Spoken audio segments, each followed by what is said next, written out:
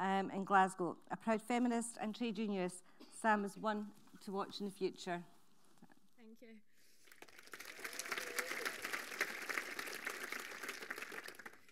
The Decent Work Zone campaign mobilises precarious workers and the unemployed. It's a campaign set up to organise workers who wouldn't be traditionally targeted by trade unions.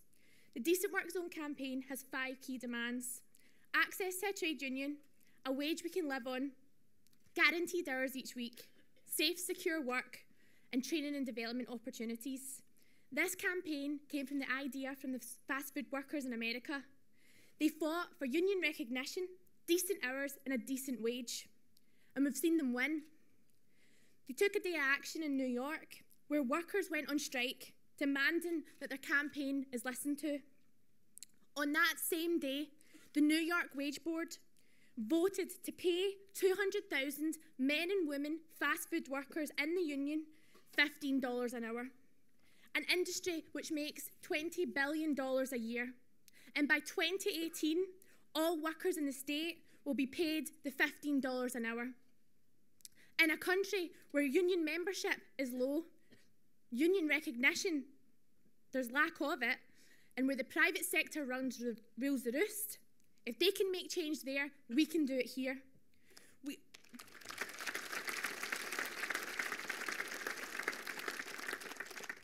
we organise workers who are not in a typically organised workplace. It's about changing the face of our movement, the rise of zero hours contracts, the continuous cuts to our basic services, the Tory living wage, which says if you're under 25, your work isn't as valued as much as somebody over that age.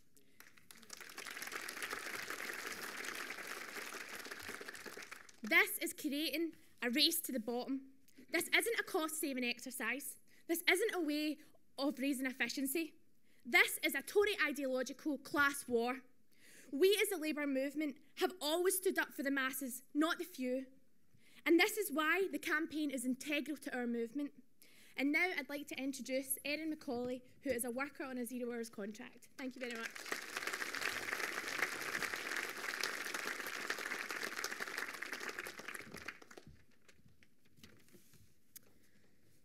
Imagine being 18 and not just landing your first job in a new city at a very busy Christmas period, but landing your dream job working in the Celtic store. working for a club that you've supported all your life, a club whose history and values are close to your heart, a job you're excited about, you're overwhelmingly passionate about, and want to put time into. Who would have known that this dream and optimism of the workplace would have been crushed at such a young age. I now have a scar on my chin, a scar that will remind me for the rest of my life of a zero hour contract, a scar that will remind me forever of the uncertainty, of the insecurity, of the stress and anxiety, of the, and of the impacts, not just financial impacts, that comes with a zero hour contract.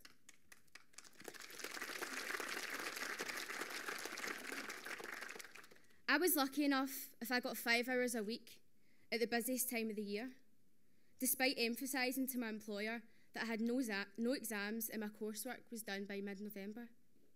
I so desperately needed hours, considering I pay £632 a month for shared accommodation, which in itself is a national disgrace.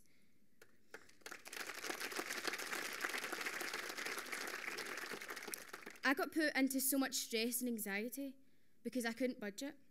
I couldn't plan ahead. I couldn't save. I didn't ever know when I was working, how long I was working for, how much I would be making. I couldn't make plans for Christmas in case I was called in. This was a job that I felt so passionately about, yet I was left uncertain, alienated, and I had to make choices to survive. The scar on my chin is because I took a seizure. I took a seizure because of the stress and anxiety that this unstable job was placing upon my life. I started taking diet pills and food supplements as a way of saving, budgeting, and sacrificing eating to pay my rent. I suffered an unhidden eating disorder because that was the only control that I had in my life. That same Friday night that I get took into hospital, my employer phoned me at quarter to 11 at night asking if I could work four hours the next day. When I said to him, I'm actually in hospital now getting stitches in my chin, the only, the only response was, okay, so you can't work tomorrow. I need to know. That next day, I went in and I showed him that I actually did have stitches in my chin, that I did have a black eye, and I stood up to him and said that I needed that weekend off. I needed that weekend off to rest. But that, but that came with consequences. I was left that full Christmas period and New Year's with no hours, no contact, and I got a letter through in mid January of redundancy and I thank you for my work. I was felt to feel unworthy and incapable. I was made and felt and was felt to be portrayed and unreliable and get and got punished for my hours being cut. I was made to feel like that, that I had done something wrong. I had felt I felt victimized and was left for that long Christmas period with no communication, no hours, no income, just pure uncertainty. But that's the reality. These employers don't take into consideration your life. They don't care that you've got a mental health problem. They don't care about the barricades that you've come over to get to this point in the first place. They don't care that you've got rent to pay or no food in the fridge. They don't care about how passionately you feel about this job. They don't care that you've had to structure your full life around these small hours. They don't care how you're getting home after that late shift. They don't care that this job could be the only source of income that you have. They don't care that you feel victimised or discriminated or exploited or bullied. All these employers care about is profit. The problem with our nation is not that we are not wealthy enough to provide sustainable, well paid jobs and hours. In fact, we're one of the most richest countries in the world. The biggest problem and most damaging problem with our nation and economy is greed. I'm not just the economic future of this country, I'm currently affected. I'm living amongst a generation who are being exploited like never before, who live amongst economic and job insecurity. But it's platforms like this, where we are actually given the opportunity to vocalise and to be listened to, that gives me hope. I wouldn't have ever known that these practices were wrong if I wasn't an active member of the trade union movement, which is worrying, considering the amount of young people in work who are not in a trade union. We can ensure that young people have economic stability, do have jobs that pay good wages and provide sustainable hours, and allow us to live, not just get by, regardless of our age. But this can only be done if the old, the young, the in work, and the out of work stand as a collective force. Decent work is a human right. And it's now more than ever that our young workers need a voice in Parliament to end zero hour contracts and as a united movement fight to end precarious work once and for all. Thanks.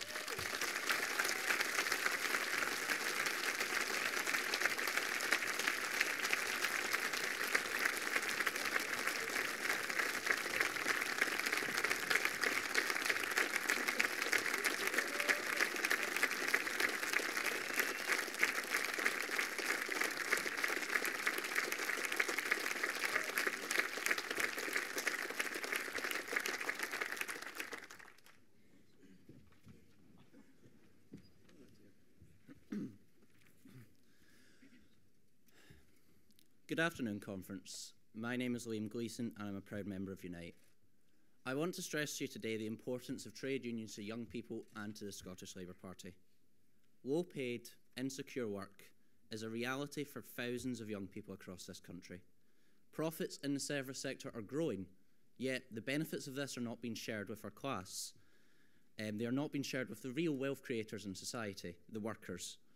Income inequality is rising, wages are stagnating, Young people are living in in work poverty and, in many cases, suffering with work induced mental health issues. Now, this degradation of working conditions has not been met with sufficient workplace resistance. The labour movement, let's be frank, is at its weakest in decades. Union membership has halved since 1980. Investment in our economy is geared towards financial speculation and property rather than manufacturing infrastructure. The minimum wage has become the standard wage. The Labour Party has to fight this the Labour Party has to be at the forefront of the Labour movement. We have to be shown to act, be actually concerned with the day to day working conditions of ordinary people. Labour needs to take a leading role in the workplace. We need to be on the picket lines. We need to be active within these campaigns, such as Decent Work Zone and Better Than Zero. Critically, we need to engage with those most exploited in the workplace, which is young people. Most young people today are not in a trade union. I'd argue that many do not know what trade unions even do. When I started working in my current pub, I was the only union member. Yet, people my age are those that need trade unions the most. We are the most likely to be on a zero hours contract. We won't even be paid the government's mockery of a living wage. Um, many of my peers are on temporary contracts in high turnover, unskilled jobs with little to no chance of career progression. We cannot afford our rent. We cannot afford to go through higher education. We cannot escape the minimum wage. Now, Labour and the trade union movement can help us, yet the average age of a trade unionist is 40. The average age of a trade union rep is 55. I can praise the work of campaigns like ours. I can thank the party, Young, Scottish Young Labour, Scottish Labour Young Socialists, and Kezia Dugdale for endorsing our campaign, but it's not enough. We need to get support from all levels of the party, and we need young people to get actively involved in these campaigns, and we need the Labour Party to spearhead these movements.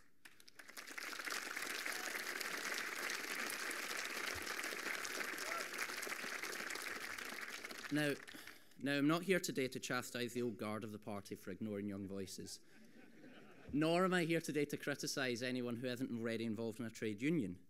Instead, I'm trying to make the point that not only will the working class of this country benefit from a strong trade union movement, but also that if we ever want to recover in Scotland, we need to take that leading role. Now, young people don't associate our party with workplace issues. The SNP are posturing to become the natural home for Scottish trade unions. Our neglect of trade unions has, has crippled our support within their political structures, especially amongst the young. Now, me and Erin sit in the Unite Youth Committee in Scotland. There's about 20 places. Me and Erin are the only Labour members on that committee. Senior figures in a variety of trade unions have been endorsing nationalist parties. Only 15% of young people are going to back Labour because they see the SNP as progressive. Voters trust the Scottish Government more on, than trade unions on issues surrounding the, the workers that those unions are meant to represent. Our support in working class communities and workplaces is crashing down around us. Nationalism is hegemonic in Scottish politics, and our, as socialists, it is our job to return class to the political agenda. We can do that, but we need a vibrant social movement geared towards issues surrounding working people and one that challenges the prevalent nationalist narrative. social movements need the support of the young, and I was delighted to see this surge of young people getting involved with Jeremy Corbyn's leadership campaign. However, we can't just sit around and be self congratulatory. That's the job of the SNP.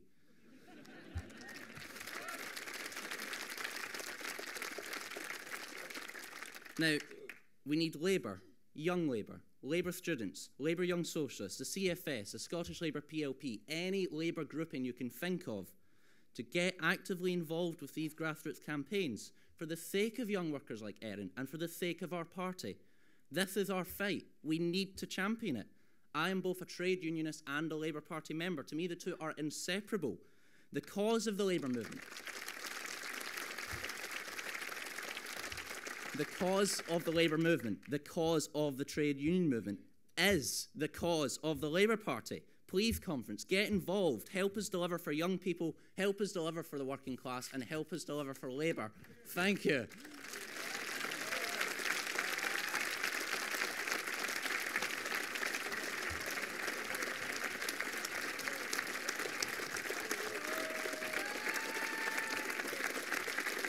Sorry, um, can I, can I just introduce Jamie Caldwell, Unite Communities Coordinator in Scotland?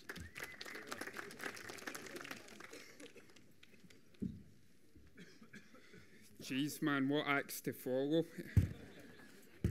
I get to work with these people day in, day out, and it is fantastic and inspiring to see so many young people actually standing up and uh, standing strong against what's happening. This, uh, this campaign starts with the individual and brings them into the collective, giving people their own place and space to develop identifying talents that we can build, share, and utilise, showing them, to showing them how to step outside their comfort zone, growing them as a person, which in turn grows our movement. For a better life and a better future for all. This is something I hold dear to my heart. Dyslexic at school, a face being put into a box. Going into the workplace, I thought life would be different, but seeing myself being put into a box because of my age. Time and time again, I'd hear prejudiced, thoughts of what, what work management thought I could and couldn't do. I somehow had a bad attitude towards work for questioning things. And I thought to myself, surely as a company, you'd want to get the best out your workers and what they could do, utilising the skills of your staff. Surely, as an employer, you want your worker to be happy so they're more productive. To me, this made business sense. It was not until I got involved in trade unions I seen the changes you could bring to your workplace and how inspiring our movement is with such a rich history. A rich history of normal people standing together, fighting for the rights that made work life better and winning. A rich history I was never taught in school. The system failed me, but my movement, the movement, yeah, my movement and my family wouldn't allow me to fail myself. And what a great message to give to young people. You can make positive change. You don't need to float through life accepting things as they are. The chance to work on this campaign with so many inspirational young people is a dream come true for me. To fight, to fight against young adults, young adults seeing their future ripped out their hands and optimism crushed at the first steps. The false choice of get a job or get an education. Education that sees young people shackled with debt for the rest of their life and what jobs? Precarious work. We have a Tory government not giving under 25s the, their phony living wage. In their words, they're not as productive. Given the green light for companies and society to take a certain view on young work, workers in the workplace, along with the explosion of zero hour contracts that see you with no rights, no sick pay, no holiday pay, no maternity rights, these are rights that we fought for and won.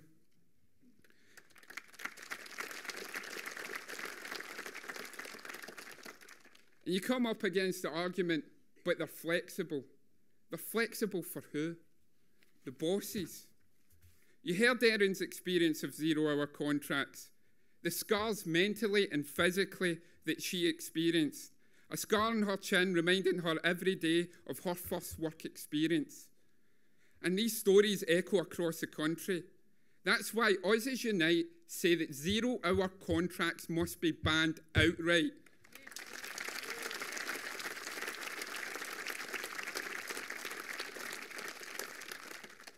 Course, there is a small percentage of people that agree with zero hour contracts. But after meeting hundreds and hundreds of young people that are on zero hour contracts, I've not met one that agrees with them yet. And to quote Spock the IMAX, that's quite a funny. Um, logic clearly dictates the needs of the many outweigh the needs of the few. That's why our young activists take on uh, Sports Direct. Mike Ashley's use of 90% zero hour contracts, an ideological war of how staff should be treated in his eyes, search before they go home, a culture, and what a culture of zero hour contracts creates. Challenge anything, you find yourself with no shifts. A woman giving birth in the warehouse, a man lay dead in the uh, workplace canteen for four hours.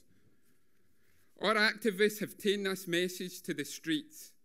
Demos, flash mobs, with new ways of protesting, banner drops at Newcastle Football Stadium, as well as Ibrox, where fans are affected by this man's greed.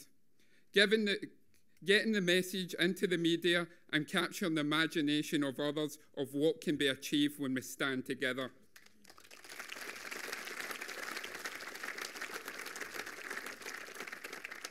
And I will say this Mike Ashley, we won't stop until you change your ways.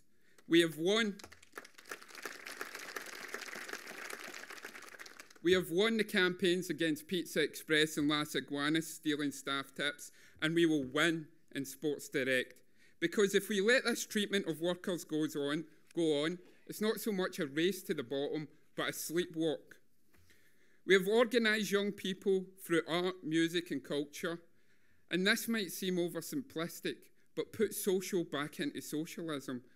Activists getting to know one another and finding a common cause. We have clear goals, clear vision. We ask for your support and to get young people involved in our campaign. We will keep growing and inspiring, building confidence till the, boss can't, the bosses can't ignore us. And politicians don't just listen to us, but get out in the street and campaign with us.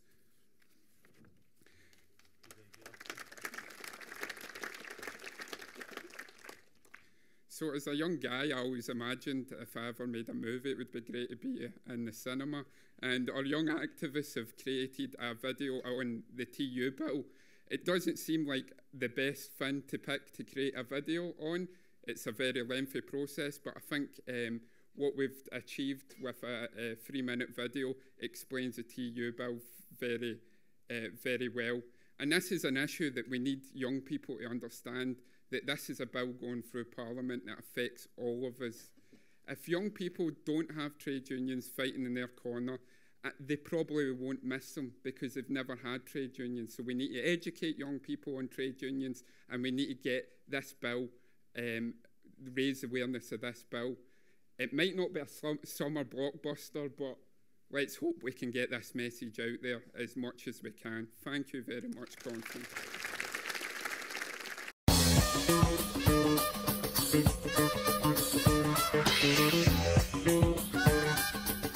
Before unions, there was you, and there was your boss. You could ask for things. Can I maybe have some uh, more pay? But you might just hear. You're fired! Today, this is your union. Strong union membership helps workers redress the balance of power to improve paying conditions, fight for a stronger economy, and a society in which no one is left behind. It's no surprise that the Tories would like to prevent us from doing this by delivering the Trade Union Bill. Stopping you and your union rep from resolving and improving workplace conditions. Removing your ability to pay your union membership in the same way you pay your pension. The UK already has the tightest picket laws of any Western country raising the threshold for industrial action, your human right to withdraw your labour, undermining your role in the workforce by bringing in agency workers to stop you and your union from actively campaigning on issues such as the living wage, TTIP and getting trade unionists elected to Parliament.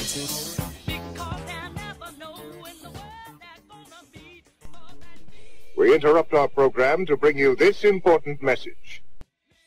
The trade union bill is progressing through Westminster it will represent the biggest attack on democracy, fairness and prosperity since the days when Thatcher put power into the hands of the few at the expense of the many. If you take the individuals away from the service, they're gone, and that pressure is then put on other people. We can't go on like this forever. We need to actually do something about it. We're here to say that this austerity measure has to stop, and if they don't change their mind, then we will change the government. Unions can and do have a, an exceptional role. It can help organise people to campaign against cuts. We can challenge it and we can change it. We rely on people on the ground in communities and in the workforce coming to us and telling us about the impact of austerity on them and on their communities. And the trade unions are a key part of that because they've got the finger on the pulse in terms of people in uh, different workplaces, different sectors across the country. So we are hearing from local government, we're hearing from the finance sector, we're hearing from transport, the construction industry. Unite members across all of these sectors are telling a very familiar story. So we, as the trade union movement, have to defeat this bill. We have to defeat the austerity that goes with it. But we also have to raise the sights and raise the hopes and raise the imagination of people of what the world can be like.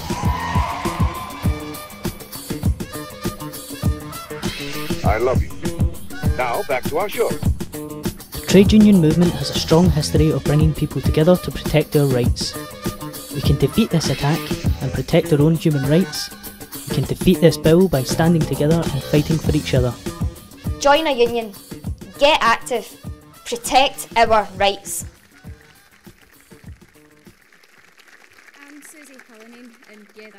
voice that was in the video. um, I joined this campaign when I was still a young Unite activist. I was on a low hour, low pay job. I've now managed to break my cycle of precarious work and now that I'm on a living wage, the impact that that's had on my life mentally and physically has been incredible. So I'll continue to be involved in this campaign because I believe that every young person deserves that opportunity. This isn't about individuality. This is about standing together and creating change as a collective. Now, you've heard from Erin the true reality of being on a zero contract. It's not just the inability to fund your life, but it's the detrimental effect it has on your mental health. These contracts are exploitative and they're demoralising. They're telling young people that they, they are not worthy of having decent work. It's not giving them a hope to find a secure future. Many people like you to believe that they are flexible. As we've heard, they're only flexible for the employer. It takes any control that that worker has over their own life and puts it straight into the hands of bosses. These are corporate bosses who care more about the profits that they make than the, the well being and the health of the people that they actually employ. We have had young people up and down this country join our campaign, many of whom had never heard of a trade union or had never been involved with anything political. Now, they had been stamped on and pushed to the edge for so long by exploitative bosses that they finally realised they had to stand up against them. They now realise that they have rights and that they need to take that fight to protect those rights into their own hands. Now, we have five basic pledges for decent work in this campaign, as you heard at the start. Now, these, these pledges have been taken to councils up and down the country, and my local Labour, um, um, Labour councillor, sorry, who's in this room somewhere, took them to my local council, which is run by the SNP. Now, we asked them for their support, and the response that we got back was absolutely disgusting. They put in black and white and stated that our demands were unreasonable and they were just impossible to implement. Now, conference, it should never be unreasonable for a young worker to ask for a wage that they can actually live on.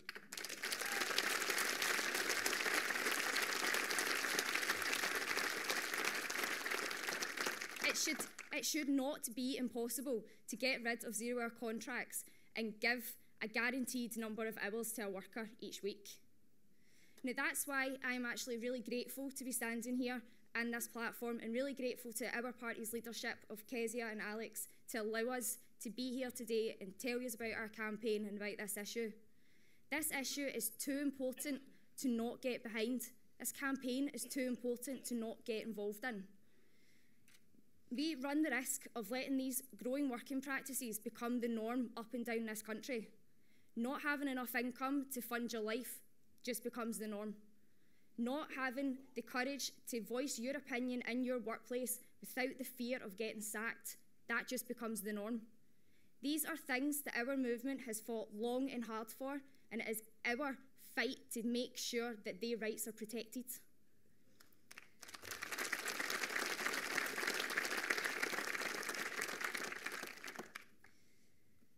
So what I ask is for everyone in here, it is great that we have got the support of the leadership, but we need your support.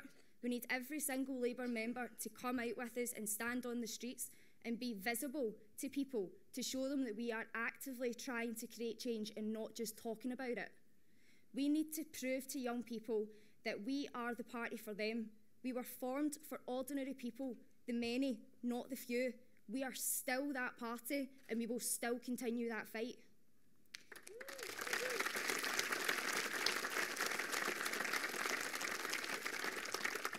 We need to prove to those young workers that we can be their voice. We can be their voice on the street, we'll be their voice in the workplace, but we'll be their voice in Parliament as well. Now, as both says, everyone else has said in their speeches before, you know, this isn't political and ideological attack on our class and our young people. Don't be mistaken that this is turning into a class war. And we, as the Labour Party, need to make sure that we are on the winning side of that war for our young people and for our movement. So thanks.